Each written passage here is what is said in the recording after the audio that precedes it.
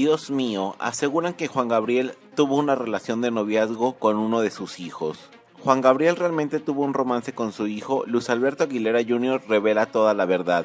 Juan Gabriel tuvo una relación amorosa con su propio hijo. En los últimos días se dio a conocer que supuestamente el Divo de Juárez había tenido una relación amorosa con su hijo, Luis Alberto Aguilera Jr. Sin embargo, el involucrado rompió el silencio y y aclaró si esta tétrica noticia es real.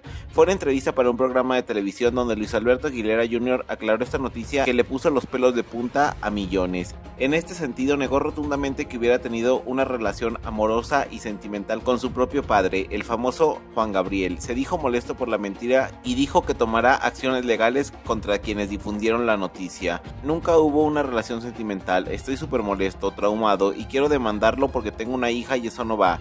Si fuera así, mi papá no me hubiera llevado de la escuela, yo era su consentido, me traía en los conciertos y las casas que me compró las conoce ya es de Bael que era su exnovio, comentó molesto. Finalmente dijo que está seguro de que la persona que inventó la noticia sobre el supuesto romance se puso de acuerdo con Silvia Urquidi, ex representante del cantante. Yo conocí a esa persona que infundió los rumores hace algunos años, le di una entrevista para lo del libro y dice diferente. Estoy seguro que esto lo inventó con esa señora Silvia Urquidi y yo le digo al señor que compruebe que me conoce desde niño porque yo no me acuerdo conocerlo a él. Cuando mi papá me llevaba a la escuela y firmó actas y todo, mis permisos, perdón, lo de mi grado de la escuela y está registrado en Estados Que aquí y este señor yo no lo recuerdo. No me conoció de niño como él dice, que compruebe con una foto o algo, porque lo que está inventando es una aberración.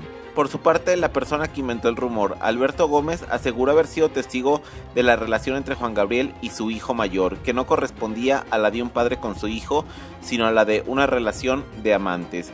Cuando muera Alberto yo busqué a Alberto Aguilera Jr. Yo ya sabía todo porque había visto este tipo de relación. Tú te das cuenta por más inocente que seas. Había ese roce de que no se trataban como padre e hijo, sino que se trataban como una pareja homosexual. Yo lo vi, yo vi el roce que había, unos juegos que no eran padre e hijo, comentó el hombre que además aseguró que Alberto Aguilera Jr. en realidad no fue registrado por Juan Gabriel. Dios mío, ¿y usted qué opina?